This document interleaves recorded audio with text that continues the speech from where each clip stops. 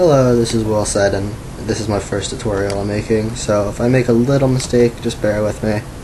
Um, it'll all work out and run, I promise you that. This is, um, today I'm going to show you how to do a sequence photo. This is a sequence photo.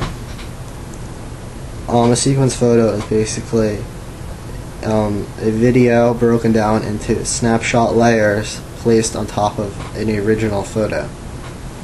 That sounds really complicated, but it's actually not at all.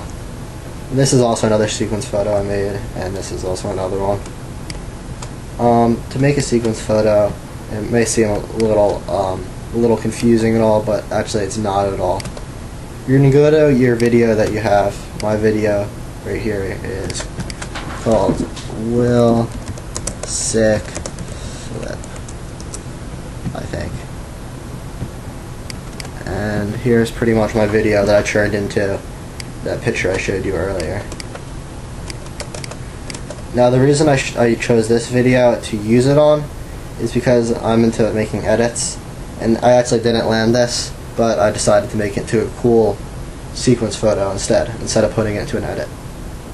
And now the way you're going to do this is you're going to go to, I'm, I'm understanding that you guys probably the basic background on how to make a little um, to like do print screen stuff. So you're gonna click print screen, and then you're gonna make this into a layer, bring it over to Photoshop, and save it as a JPEG.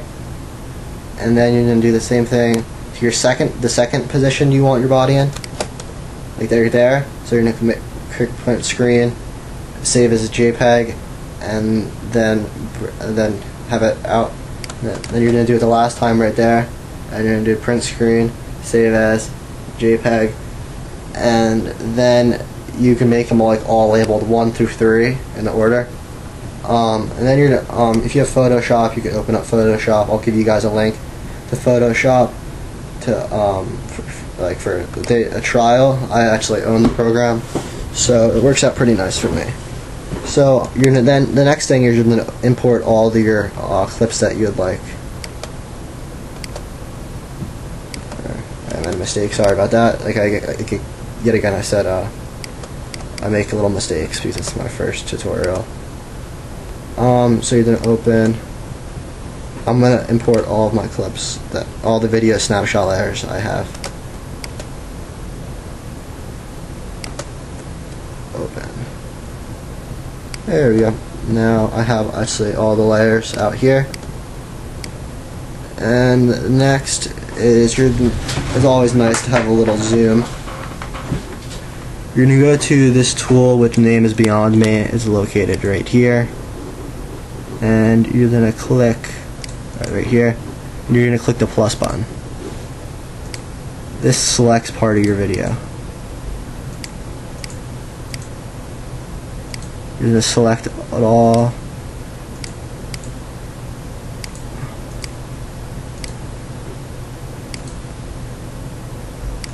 after you've selected it, you're going to click. Um, you're going to go over to edit, and you're going to click cut. I like to cut it just for now it's done with. And then you're going to bring it over to your main first clip you'd like, and you can click paste. I'm going to do this a little out of order just for the heck of it. Jeez, whatever. This one's probably not the most as cool as the other one I did, as I'm just doing this one in a rush. I'll probably finish in a couple of minutes. Go back to the plus tool, hit a little zoomage, and click. You want to zoom, you can click. Uh, there's a little zoomer, zoomer right there. I have actually the shortcut on my keyboard. Shortcut nice. Click it. That was a that was a nice easy one. And let's say you make a mistake and you accidentally click a little bit over here. You go to the minus tool, subtract do it backwards. I'm just I'm rushing right now just for I don't have a 25 minute tutorial. subtract it, subtract it, subtract it, and there you go. Your second layer, and you're gonna click cut. For now, I'm done with it, and you're done to paste it. There you go. There's your second party view and then our third my third video frame I chose was right here. Um, pretty completely backwards. And you're going to click plus select it all click down. Oh whoops see there you go. Hit the minus a little minus action. A little minus a little too much minus right there. Make it a little smooth smooth it out I like smooth that's actually the name of my YouTube username smoothness we like it smooth Oops. A little too carried away. I'm having a little trouble with this last one. The way this tool actually works is it finds like color groupings and that's how it selects it, I believe. I'm not a Photoshop expert, I'm a 15 year old kid. But that's what I think. That's pretty good, whatever. If you make, I'll show you a little thing you can do at the end for like a little, little stuff like that. That's not the end of the world. You just go to, and you're gonna cut it and you're going to paste. And you can click up here, there's that's a dragging tool, drag it over. This may look a little butchered, but thank God we have a tool called Eraser. Now the way Photoshop works is there's different layers on top of this photo, which is called background. Now see layer 1, now see layer 2, how there's a little uh, action on the sides, like right there. The little lines, I don't know why they're there. We're gonna go to eraser, and you can actually erase erase them from without. You can go right over your body because this is just erasing this layer. It's not erasing the background, but it will it will erase your body if you go over it. I will not do that for, for demonstration purposes. We go to layer 3.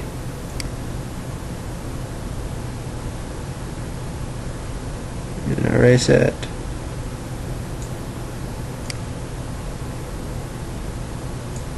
And there you go. And this is pretty much finished. If you guys would like to add a little splice, you can go to background, click the color curves option, of mess with it a little bit. The only bad thing is, like I said again, I'm not a Photoshop expert.